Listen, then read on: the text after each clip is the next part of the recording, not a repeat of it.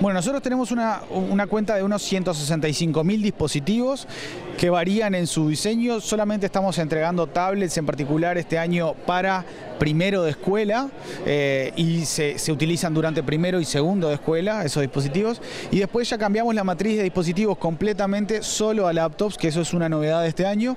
Y en tercero de escuela estaremos entregando laptops y después se le recambiará nuevamente a laptops. Antes no era así, se entregaban tablets de nuevo en séptimo y después para bachillerato tenemos toda la iniciativa de eh, los pilotos de entrega de dispositivos más la iniciativa de programación para, unas 10 eh, para unos 10.000 estudiantes. La, la, reforma educativa implicó que se tengan que hacer estos cambios y no dar tablet y pasar a laptop?